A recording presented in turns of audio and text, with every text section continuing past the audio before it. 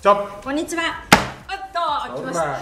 久々に勝ってきました。何やってんだよみたいなあれですね、昨日のあれですよね。ブリンソン選手ですよね。そうだなあれはちょっとびっくりしました。まずブリンソン選手がなぜ一塁あれセカンドベースにいないっていうただねあれねクッションの取り方はえー非常に近本うまかったんだよはい。あれ走ってたらアウトになってたかもわからないかもわからないけども、やっぱ打ったら全力疾走しようよっていうことだよね、そこですね。でうん。これに対して原監督いやこれはダメですね。ブリンソン選手の怠慢走塁に、えー苦言ということでもう全ての、えープロを目指す少年うん。全ての野球人に対して私自身の指導不足というところで非常に恥ずかしいプレーでしたねと謝罪までしていたという。もうね、原監督と話す時あるんだけど、はい。何回もブリンソンには言ってるよ、あそうなんですか？やっぱ。いや本当に。結構改めて言わなきゃいけないっていうことが もう原監督も腹に据えかねてるよ。そうですよね。セカンドベースまで行けてればあれホームに帰ってこれて1点先制できたチャンスになってたんですよね。まあ例えばブリンソンがセカンドに行ってたら、中山なあの門脇に、えーエンドランをかける必要もなかったし。あそうですそうです、ね。はい。まあ確かにその大事な場面だから中山が立った時には、はい。申告敬遠をしてるかもわからんね。せ一塁が空いてる。ああ次中田か。そうなんだ。あそしたら帰ってきてる可能性があるよね、はい。でもセカンドにいるから打ててた可能性が少ないかもわからないし、うんうんだからそれは分からないけども、はい。やっぱ可能性とすれば、まあ、1点のチャンスはできてたよね。セカンドに行ってれば、そうですよね、うんまあああいう持ってる選手なんだよね。時に暴走してみたりとかさ「いやお前そこ走らないでしょ」みたいな。そうなんですよ。面白い選手なんだよ。で時にスーパープレーしてみたりとか。そうそう。時にボミスしてみたりとか、ね、そうなんですよ。走らなかったりとか。あれはもう打った瞬間に本人は入ったと思ったんですかね。まあそれは思ってんだろうな。手応え十分だったんじゃない ですよね、だとしてもあれもし例えば他の日本人選手であったら走ってますか？いや走ってるでしょ。走ってるよお前。そこまいやいやブリンソンだから日本人選手だからという、外国人だからうんとかじゃなくて、よくあるやっぱり野球選手だよ結局。あのよくある確信歩きってあるじゃないですか。それはもうね、もう打った瞬間にはい。確信持てる打球ってあるんだよ。あだから持っちゃったんだろうね確信。あ 確信でしたうぬぼれが強いんだよ多分あとはなんかもうこっちがパッとし見えなくなっちゃう？こういう風になってしまうまあそういうタイプかもわからんな。ですよね、であれ入ってなかったでちょっと慌てて速度を上げてみたものの間に合わないと思って一塁でやっぱ止まったっていう。いやそれはもう慌てていったらお前 何言われるかわからないよ。走りはしない。セカンド行ってアウトって、はもうもうやめなさいみたいな言われますよね。ただベンチでは本当原監督苦笑い嘘みたいな。苦笑い。はまあ走れない時一塁コーチャーがね走れって言うんだけどね、はい。でも聞こえないわうんな、まあそうでしょうね、うん。別にあそこで特に変えることもなくあよくあるじゃん懲罰とかで。変えることもなく今度は、えー外野で守っていた時ですよね。普通ならブリンソンで梅野の当たり？はい、あの梅野選手があのタイムリー放ったあの当たりをあの本来であれば突っ込んでいくような形の選手じゃないですか。まああれはね取れたか取れないかわからないし、突っ込んだら2点っていうことも考えるし、まあそうか、うん、だからまあ止めにかかったけどね、うん。でまあ、結果としてセカンドからサードに走った島田選手はアウトにはしてるので。梅の梅ちゃんがっかりで、うんあれあれ？あれセンターゴロっていうねそうそうセンターゴロになる。ことになったんですけれども、まあまあそれはいいとしても、はい。やっぱ走る走らないっていうのは、まあ、単純にできる動作だからね。ウォッチャーなんですよ。ウォッチャー。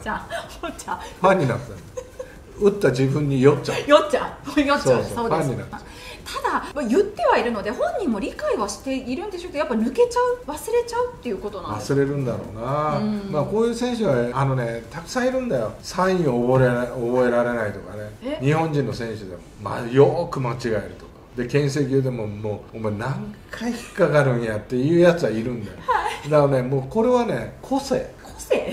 個性として捉えるしかないんだよこう教えて教えられるもんじゃない。やっぱり自分の意識がそこにないっていうことだから。だから意識を持ってもらうしかないんだよ、本当にいるから。お前何回サイン間違えるんだって。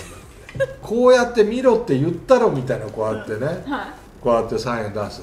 ここだけ見ときゃいいじゃん。キーの次なんだから。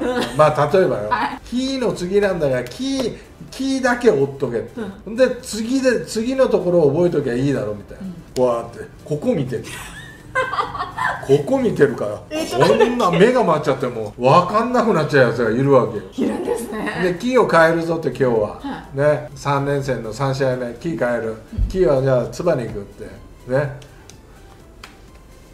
前のキーが残ってんですそうエンドランだみたいな。ランナーいないじゃない。もう一回出してくれって。えみたいな。何にも出してないよサードコーチャーなんて。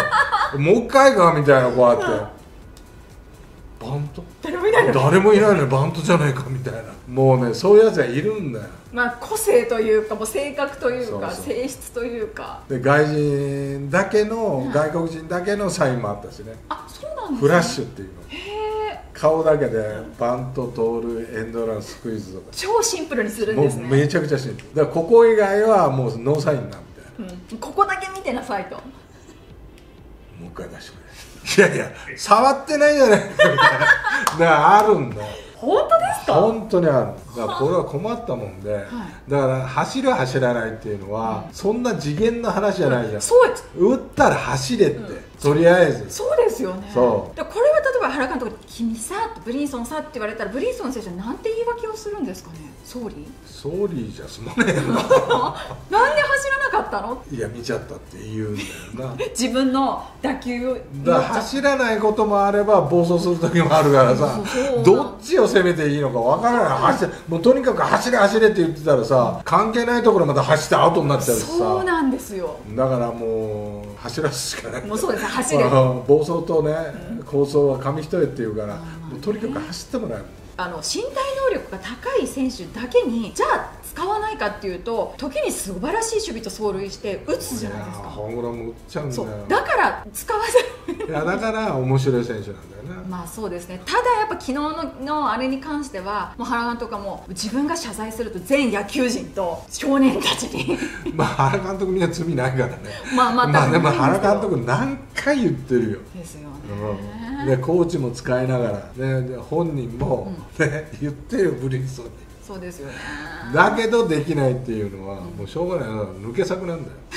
そうですね。いやだから本当に。あのファンの間でもだったらあんなってるウォーカー選手の方がいいいいじゃないかとか。守れないから。そうなんですよね。そうなんですよね。頑張ってはいるんでこすけど。こらここの時期に守備の破綻は、もう避けてもらわないと困るから。あのジャイアンツは自力優勝のこれで V がなくなったじゃないですか。いいやん。打席に立立たすのは同じ格好をしてるから あのウォーカーで守りはブリンソン。わかりますよすぐ背番号いやだからじゃあウォーカーの あののブリンソンと変わる変わるにする。いやいやだからユニフォームを2人とも着とくんだよ、あなるほどね。俺ら気がつかないかもわかんないファンファンもうん。気づきますよ審判もすぐ。に 気づきますよ。それは困るのただその自力での V がなくなってしまったと、まあ、昨日は非常に大切な試合でしたけど。でもここからまた頑張れば自力 V だったりとかももちろん他力でもありますし。そうなってくるとこう締まった試合より終盤になればなるほどブリンソン選手を使うのが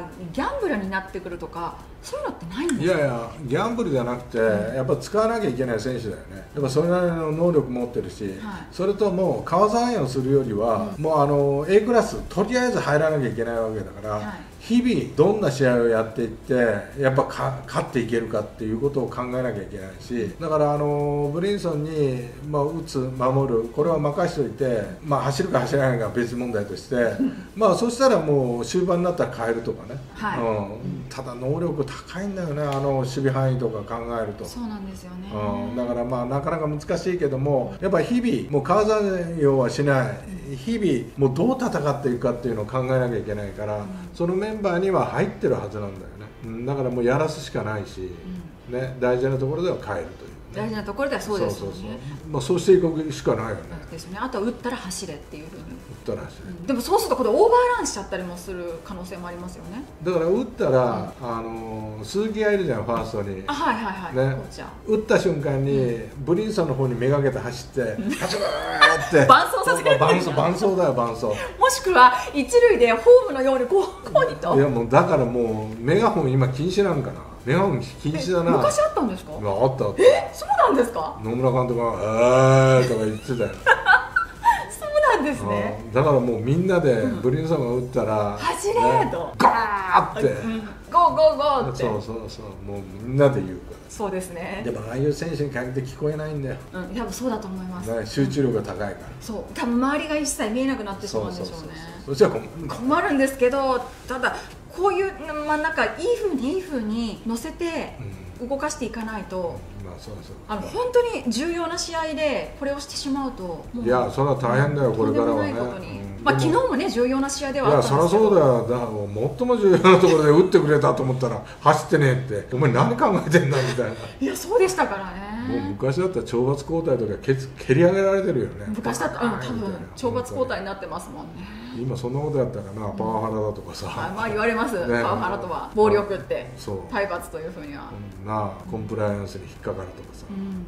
ただこういうことがあったからといってそのね外すとかっていうことはできないような選手ではあるってことです、丸が状態を上げればな。まあそうなんです丸だったら打ったら走ってくれるか絶ら対走りますよ。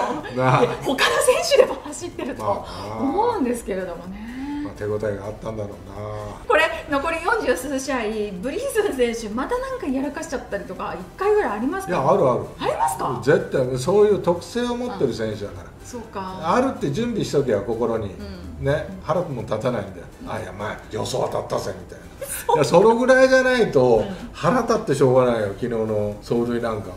ね腹立つだから万が一あれで勝ててたかもわからないわけだ。か確実にあそこで1点はね入ってたかもしれない。ら入ってる可能性が高かったからね、はい。うんだからちょっともったいなかったな。そうですよね。腹立つ腹立つってなってます。本当腹立つね。監督？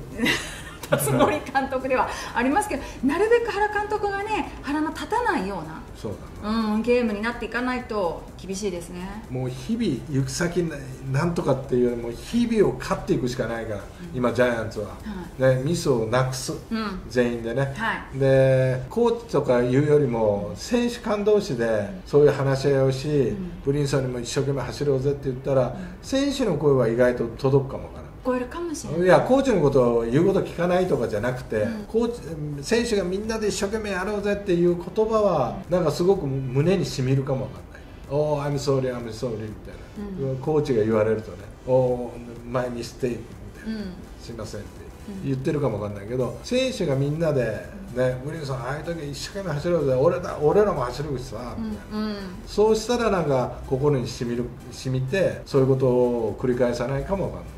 そうですね。監督とかコーチだけじゃなくて選手間同士で注意し合っていくっていう。でもあんまり走れ走れって言ってるとあいつ止まんない可能性があるから。そうそれが怖いですよね。なんか。まあな前例があるだけにね、うん。でも面白い選手だと思う。まあねあのそそううですね。巨人ファン以外から見れば非常に。旗から見てるとなそうですね、はい